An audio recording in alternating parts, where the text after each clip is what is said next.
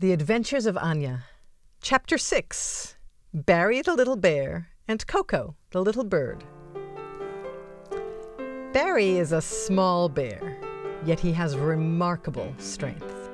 He's capable of carrying heavy bundles of firewood. Not only that, but Barry is also an exceptional cook and prepares dinner for himself and his companions.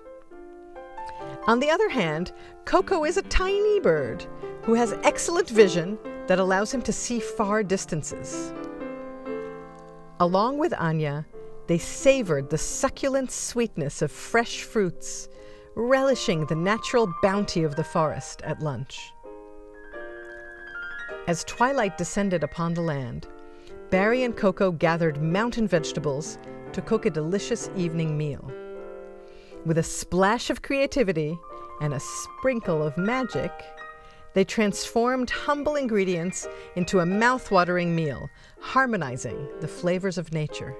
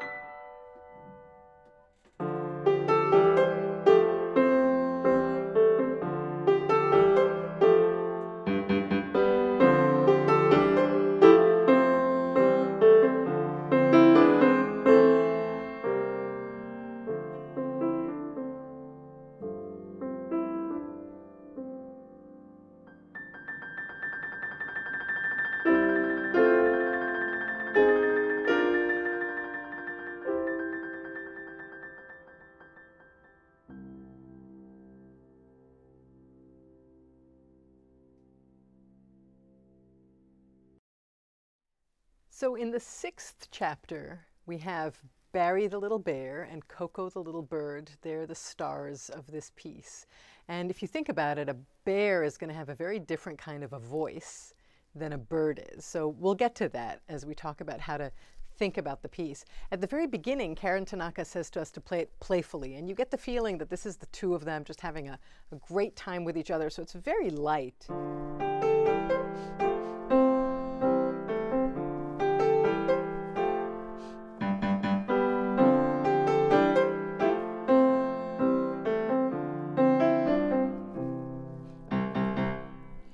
Notice a couple of things about that opening phrase. One is it's got a real pop music kind of feel to it, right? So it has that beat that just keeps going very regularly underneath. And the other is she's added this like little bit of percussion, this and this, which also feels, you know, almost like it's the um, uh, beat track on the synthesizer, even in some ways. So it has that very poppy kind of feeling to it.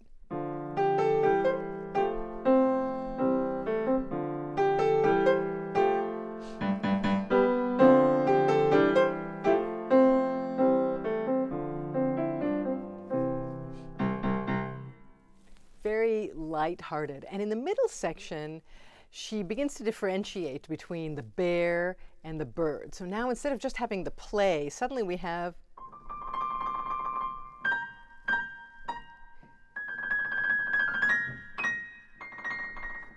right? So all these little very high-pitched, very sweet bird sounds. It sounds like the bird is having a great time against the beat that we've had all along, which goes like this.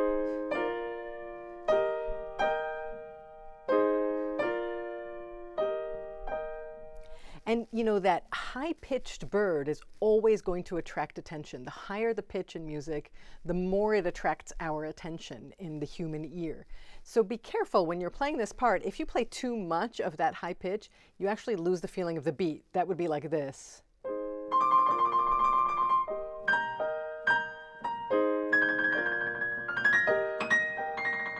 Doesn't really make sense. It's almost like you're trying to make a melody out of the bird. But if you use that left hand beat to be just a little steadier, a little more uh, loud and present than the bird, that really helps a lot.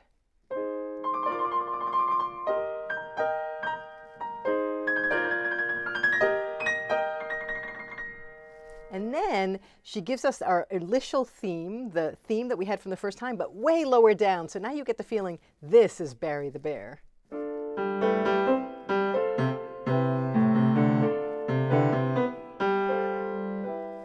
And still that same beat continues in your left hand the whole time. So have fun with this one. This is clearly two friends just really enjoying each other's company.